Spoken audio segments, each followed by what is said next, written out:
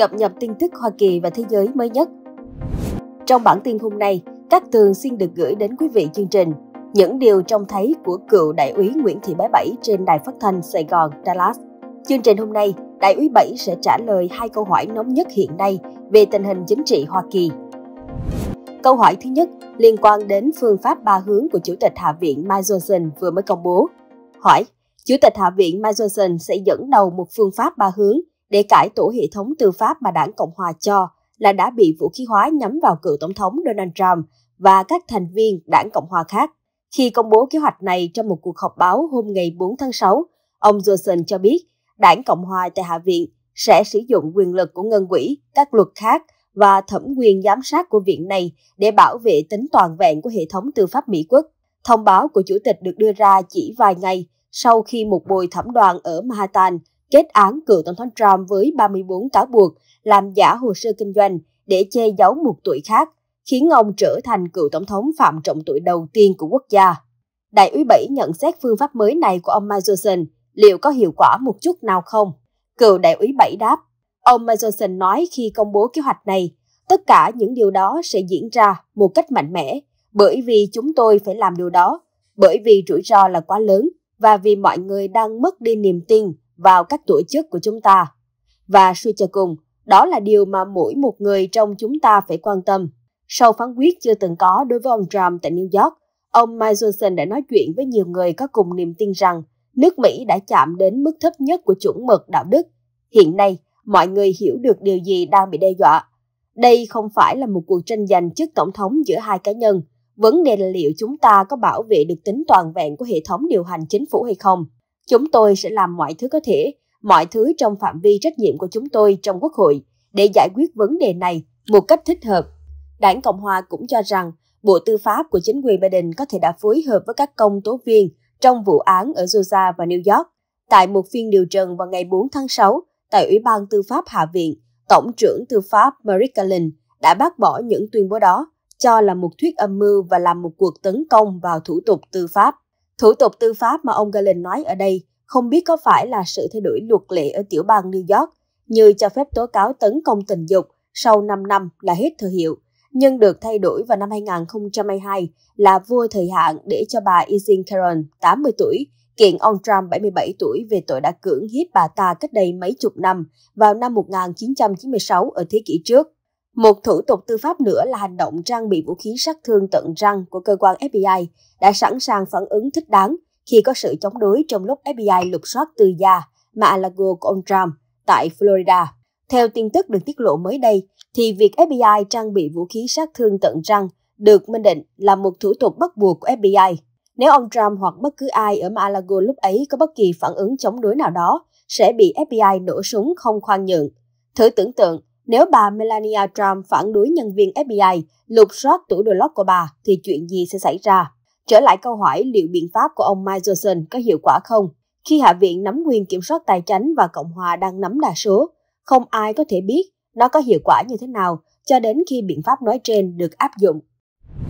Câu hỏi 2 liên quan đến Hunter Biden và tội hình sự. Hỏi, ngày 4 tháng 6, ông Hunter Biden đã dự phiên tòa hình sự xét xử ông về tội sở hữu súng bất hợp pháp. Đây là vụ án hình sự đầu tiên với bị cáo là con của một tổng thống Mỹ đương nhiệm. Phiên tòa dự kiến sẽ tập trung vào việc sử dụng và nghiện ma túy nhiều năm của Hunter Biden, điều mà ông đã nhắc tới công khai và là phần nổi bật trong cuốn tự truyện năm 2021 của ông, Những điều đẹp đẽ. Ông nói với thẩm phán quận Mỹ Maryland Nojica tại một phiên điều trần năm ngoái rằng ông đã cai được ma túy kể từ giữa năm 2019. Luật sư David Quay dự kiến sẽ gọi cho đặc vụ FBI Erica Jensen để làm chứng về các tin nhắn của Hunter Biden nói về việc sử dụng ma túy và cuốn tự truyện những điều đẹp đẽ của Hunter Biden. Nếu bị tuyên có tội, con trai Tổng thống Mỹ Joe Biden có thể đối diện mức án lên đến 25 năm tù. Theo cô, họ mới xử ông Trump tới 34 tội danh, thế còn hoàng tử Hunter này không biết có dính tội danh nào hay không. Vì ông Joe Biden nói, tôi rất hãnh diện về đứa con này của tôi. Đáp, đảng Dân Chủ và cánh tả mỗi khi muốn vu cáo hay kết tội ông Trump và những đồng minh của ông đều tuyên bố rằng không ai đứng trên pháp luật đây là câu thần chú của họ. Nhưng đối với chính họ và đương kim Tổng thống Biden, thì câu thần chú này không được áp dụng, mà họ áp dụng câu là for free, but not for me. Trường hợp điển hình là vụ hồ sơ mật của Tổng thống Trump, chỉ là những hồ sơ mà Tổng thống Trump có quyền giữ sau khi mãn nhiệm, cũng như các ông Tổng thống tiền nhiệm. Nhưng bị điều tra và bị truy tố cho tới bây giờ vẫn còn đang thụ lý. Trong khi Joe Biden không có thẩm quyền gì để giữ những hồ sơ mật trong cương vị là thượng nghị sĩ hay phó tổng thống. Những hồ sơ mật này được tìm thấy khắp nơi ở tư gia của Joe Biden, ngay trong nhà để xe của ông ta, nhưng Joe Biden không hề bị truy tố. Trường hợp thứ hai, bà Hillary Clinton đã xóa trên 30.000 email và đập nát điện thoại cá nhân, được Bộ Tư pháp xác nhận, nhưng không hề bị truy tố về tội phá hoại chứng cứ, là một tội đại hình.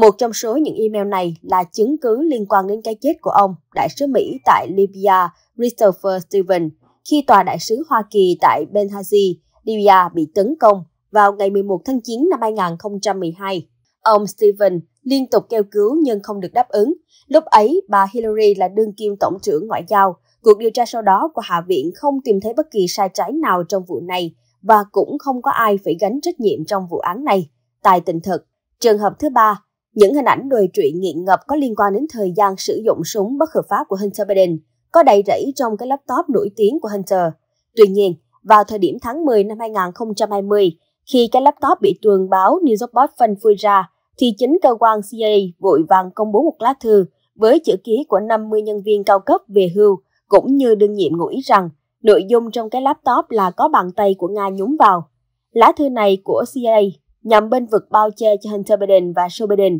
cũng đã sử dụng lá thư này khi tranh luận với ông Trump trong cuộc bầu cử năm 2020. Ông Tổng trưởng Tư pháp Merrick Garland đã khinh thường Quốc hội khi không đáp ứng đòi hỏi của Ủy ban Tư pháp Hạ viện, yêu cầu phải nộp bản thu âm cuộc phỏng vấn Tổng thống Joe Biden của công tố viên đặc biệt Joe Biden về những hồ sơ mật mà ông Biden đã lấy về nhà khi còn là thượng nghị sĩ. Mặc dù công tố viên đặc biệt Joe Biden kết luận rằng Joe Biden đã cố tình giữ lại và tiết lộ các tài liệu mật là vi phạm pháp luật, nhưng cuối cùng ông vẫn quyết định không truy tố, viện lý do rằng bùi thẩm đoàn sẽ thông cảm cho một ông cụ cao niên có trí nhớ kém. Trong khi đó, Ủy ban Tư pháp Hạ viện muốn tự mình nghe những đoạn ghi âm này. Dân biểu Cộng hòa New Jersey Jeff Van Drill nói rằng, nếu tổng tư lệnh của chúng ta không thể đối mặt với phiên tòa, nếu ông ấy không đủ năng lực để đối mặt với phiên tòa, thì ông ấy quá bất tài, không thể là nhà lãnh đạo của quốc gia hùng cường nhất trên địa cầu này. Và nếu Tổng thống Biden có năng lực và đánh giá của công tố đặc biệt Joe Biden là không chính xác, thì Tổng thống Biden phải đối mặt với bùi thẩm đoàn về tội giải quyết sai trái tài liệu mật. Một trường hợp không những đứng trên pháp luật mà còn là ngồi xổm trên hiến pháp liên bang là Hội đồng thành phố của thủ đô Washington DC đã cho phép những người ngoại quốc, kể cả thành phần ngoại giao của các tòa đại sứ nước ngoài, được bỏ phiếu bầu những giới chức cầm quyền tại thủ đô. Vào ngày 18 tháng 10 năm 2022, Hội đồng thành phố của thủ đô Washington DC gồm tất cả thành viên đảng Dân Chủ đã bỏ phiếu với tỷ lệ 12 trên 0, trong đó có một thành viên vắng mặt không bỏ phiếu. Thông qua đạo luật sửa đổi về quyền bầu cử của cư dân địa phương, cho phép những người không phải công dân Hoa Kỳ được quyền bỏ phiếu. Luật này mở rộng quyền bỏ phiếu trong các cuộc bầu cử địa phương cho tất cả những người trưởng thành không phải là công dân Hoa Kỳ, bất kể họ ở nước Mỹ có hợp pháp hay không, miễn là họ đã cư trú tại DC trong 30 ngày. Hội đồng bầu cử DC đã đăng hướng dẫn trực tuyến cách thức người nước ngoài bỏ phiếu trong các cuộc bầu cử ở DC và không có biện pháp nào ngăn cản các nhân viên tại các tòa đại sứ của các chính phủ công khai thù địch với Hoa Kỳ không được bỏ phiếu. Hướng dẫn cho biết, bắt đầu từ năm 2024, những cư dân không phải là công dân đủ điều kiện của quận Columbia có thể bỏ phiếu trong các cuộc bầu cử địa phương.